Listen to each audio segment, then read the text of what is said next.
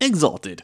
Beyond being known for massive dice pools, combat scenarios that can be a major slog, and mind numbingly massive charms lists, has some other crazy rules. Today, we're going to talk about two that I learned about in some games that I recently played in. With a little bit of tweaking, some of these could also be worked into other games. These systems are lore and facts, and leadership projects. Charms may help with these and make them more efficient, but they're ultimately not a prerequisite for them.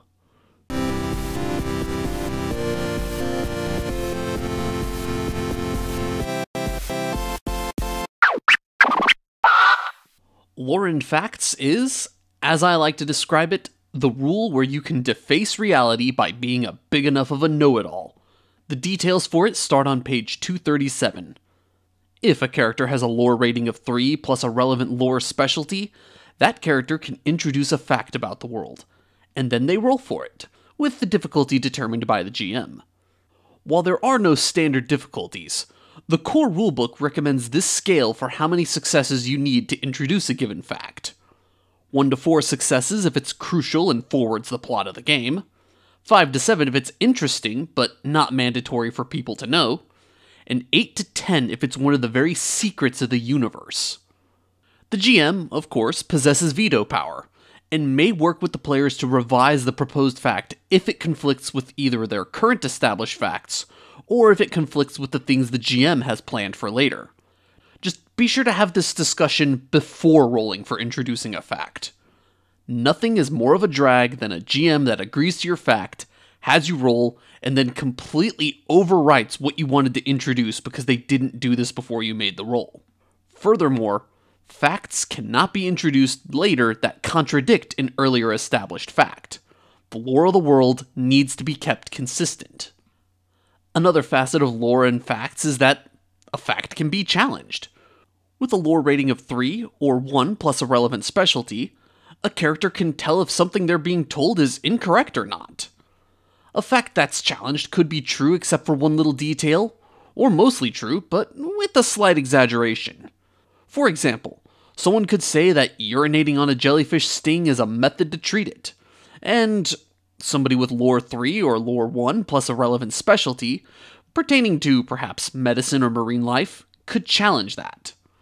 With just one success, they knows there's something wrong with the statement.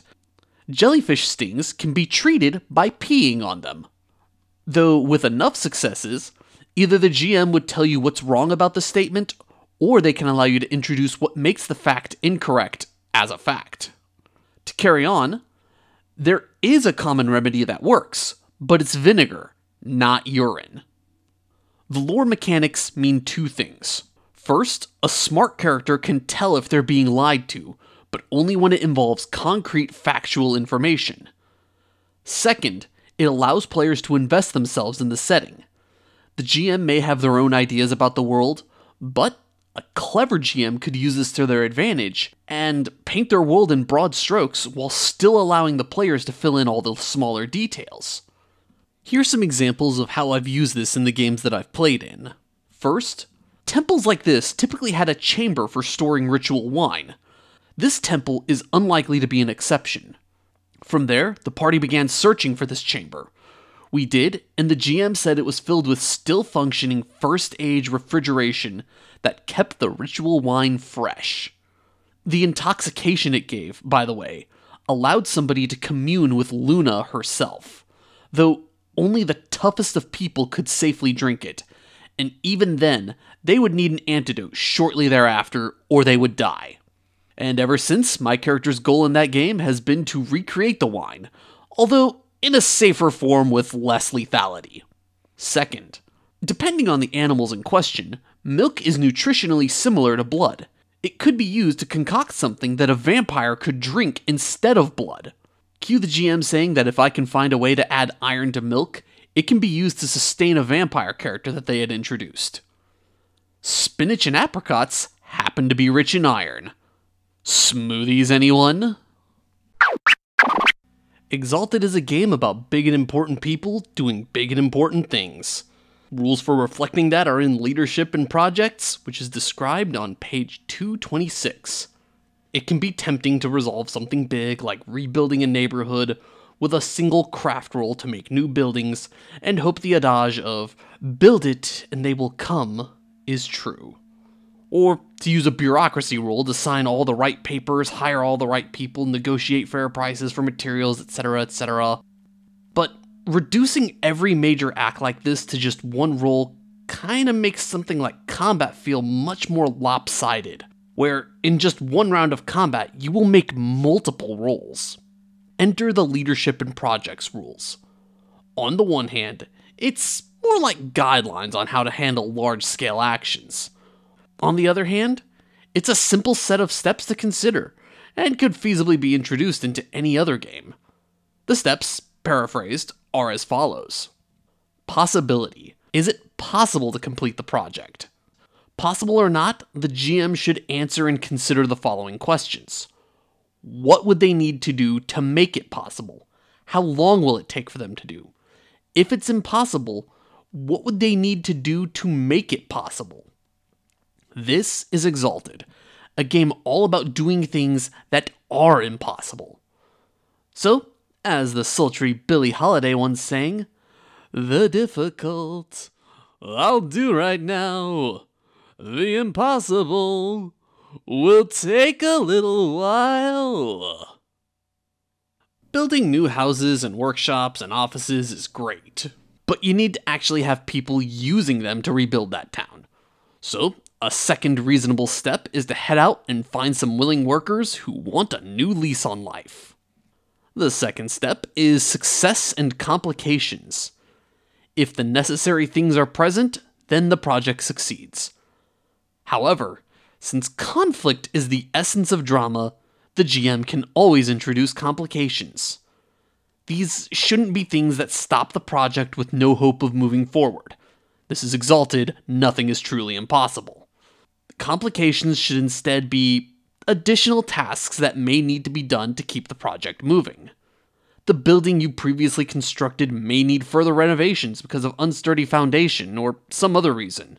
Like, one of the new people you hired to work in a restaurant may point out that you need more than just a dining room. You would also need a kitchen, which you forgot to build. Or it doesn't have enough space for all the utensils and appliances that they need to put into the kitchen to make the restaurant work. Plus, you need to hire more wait staff. A chef alone would only cut it in a hibachi grill house or teppanyaki restaurant. The third step is to deal with complications. This is where your merits would be useful. Some common uses for these include resources for paying bribes or hiring fees, allies for calling in favors, or followers for tasks that just plain need a lot of people. You could assign followers to deal with the renovation in your stead, while you set out to find some people to help work the restaurant, either by scouting personally or calling in favors from an ally to find some people in need of a job for you. And the final step is the consequences. Succeed or fail, other characters are likely to take notice of what you're doing. They may like it, they may not. Either way, this is the perfect opportunity to introduce plot. Some local toughs in the neighborhood may not like that you're trying to open up a new business in their turf. So, once the restaurant is completed, your next story beat is what to do about the tough guys. And thus, the game moves ever onward. So, there you have it. Two of my favorite things that Exalted 3rd Edition introduces. They're simple enough that, frankly, you can introduce them to any other game in some form or fashion. For example, one of my least favorite games, Dungeons and Dragons, could actually have these systems adapted into it fairly easily. Within D&D 5th edition, there are a few skills that reflect characters having knowledge in specific areas. Thus, the prerequisite for using lore and facts system from Exalted could just as easily be being proficient in that skill, and successfully introducing a fact could require a skill roll passing a certain threshold, depending on the obscurity of the fact. And projects in leadership are quite simply a to do list for a quest line. Thanks for watching. If you found this interesting or helpful, give me a thumbs up like. And if you want to learn more about Exalted or other great role playing games, check out some of my other videos, or hit the subscribe button for me. With all that said, I am Aaron der Schaedel, and I will see you all next time.